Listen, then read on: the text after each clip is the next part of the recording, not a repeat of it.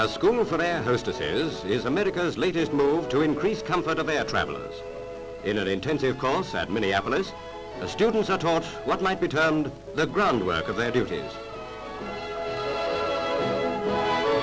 Poise and sense of balance are acquired through rhythmic exercise. For nothing is more disconcerting to the passenger than a lurching air hostess who tumbles in one's lap.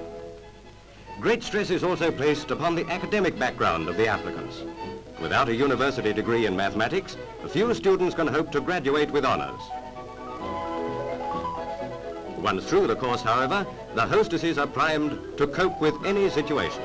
Even the handling of airborne topers is carried out with tact and charm. A soothing word, a hint that two might make a party after landing, and perfect calm is soon restored. The very important passenger receives the maximum in airline hospitality, the works in fact. Wined and dined by the hostess ground crew, he's conducted safely home.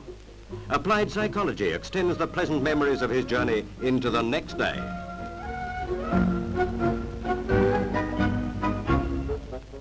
Credit for this remarkable advance in care and feeding of the airborne adult is shared between the hostesses and the refreshment staffs, experts in liquid nourishment.